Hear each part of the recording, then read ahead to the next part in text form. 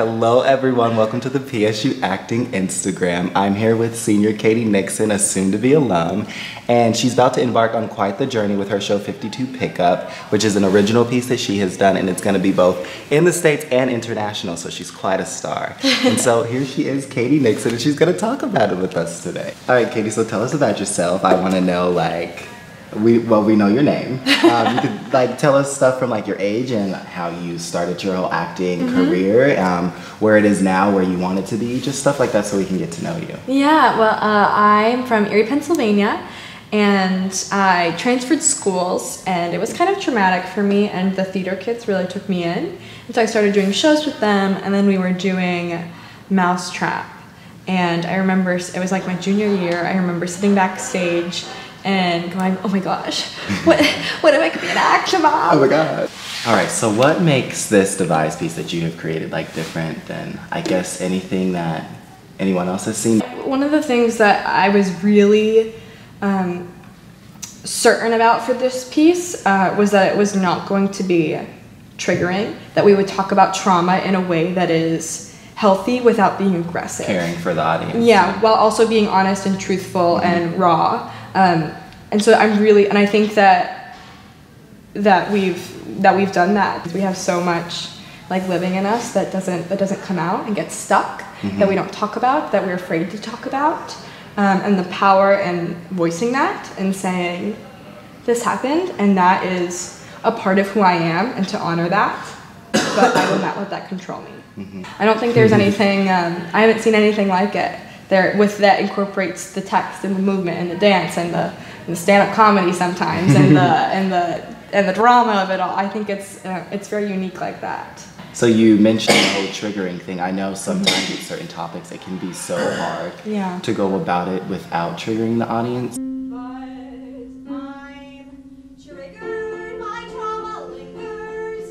I think those two things for 52 Pickup are hope and humor. Mm-hmm. Uh, hope and humor and the timeline, things happen so quickly on stage and then they're done. Mm-hmm. Um, and the timeline is like this and mm-hmm. not like this. Yeah. Um, so you ha- there's almost a part of you that has to be like you have to be like you trying to, to follow it. it. Yeah. yeah. you have to be in it. Um, and once that moment's done, we are on something very different. Um, and I, anytime there is a moment of whew, of big, big yikes, there is immediately afterwards or some or very soon um, a joke. Which is important. Yeah, and so many times I've been criticized for for joking about my own trauma, but hey, like we gotta heal some way. We gotta Yeah, because we all heal differently. What advice do you have for like the BFA students that are still in the program now? Because yeah. you know, a lot of the time professors are like, you know, create your own stuff. So like tell us like how to go about that or like just any like kind of feedback or like I said advice yeah. that you can give towards that? One of the things we're really lucky about in going to Penn State's BFA in acting is that so much of our professors have us devising work. Um, I used to joke that the BFA in acting here was actually a BFA in devised performance. Yes. Uh, yes just yes. because that is a vocabulary that we that we use regularly. And after doing 52 pickup here, I had a lot of people come up to me and say, uh, how do I, how do I do something like that? How do you mm-hmm. do it? How do you do it? And it really just comes down to you make yourself do it. You put yourself on a schedule. You say you you learn how to ask for money for different organizations, and you learn how to write grants. Um, but it really is just sitting down and doing it and taking mm-hmm. yourself seriously and doing yes. it. Specifically, how is your soul rich through doing this? Because I think that's yeah. so important.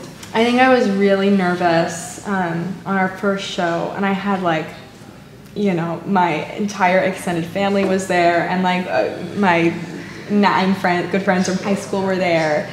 Um, it, like it was a really great home crowd, and I was so nervous because um, there's always that fear of, you know, when you create something, what if it doesn't do what I want it to do? And I really didn't want it to be a therapy piece. I really didn't want it to be um, triggering. I wanted it to be something that brought people hope. And so afterwards, people would come up to me and tell me their stories about how how like they saw themselves on stage, and that is just like that's it. You know, that's how we do it. That's how we do it, and we help people. For me, um, in this piece, we're helping people heal. And we're hoping um, later, um, once I moved to New York and everything, to do a sort of hope tour. So taking the piece into different um, centers for women and places for um, where they talk about domestic violence to bring the show in and work with uh, survivors to help them create their own small theater pieces and then maybe um, to see my work to make some sort of some sort of healing journey with that. That'd be, oh my gosh. Yeah. That's, yeah. Yeah. Yes. yeah. I love that. Yeah, me too.